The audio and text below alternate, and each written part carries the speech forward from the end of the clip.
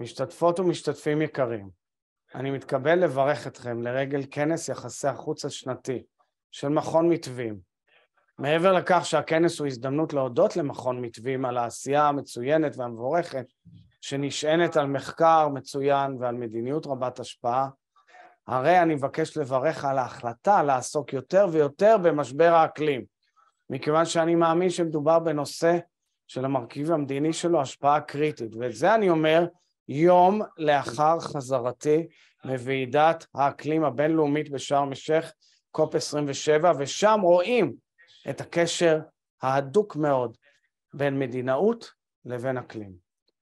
אין ספק, משבר האקלים הפך לאירוע משנה משחק, ה-game changer, בוודאי בכל מה שקשור ליחסים בין ישראל לשכנותיה במזרח התיכון, ואני מאמין בכך בכל ליבי ומתכוון להקדיש את עצמי בין היתר למה שאני מכנה ומה שהצגתי בוועידה Renewable Middle East, מזרח תיכון מתחדש, שותפות כלל אזורית בהתמודדות עם משבר האקלים.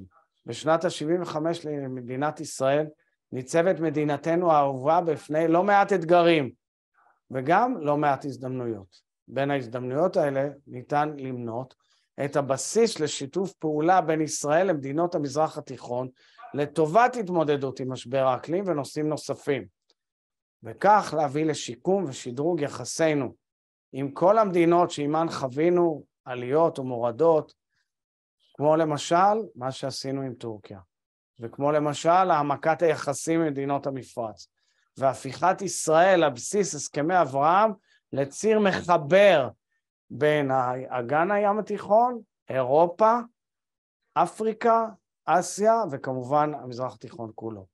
וזה לא אה, באספמיה. תסתכלו 50 שנה קדימה, צעדים כאלה יכולים לשנות את העולם, והם עומדים במוקד מדיניות החוץ של מדינת ישראל, ואין לי ספק שהפעילות החשובה שלכם במתווים יכולה לסייע ולקדם זו. אני מבקש להודות לנשיא המכון דוקטור נמרוד גורן, למנכ"ל דוקטור גיל מורסיאנו, ולכל אנשי המכון ומארגני הכנס, ולאחל לכולכם כנס מעניין ופורה. בהצלחה.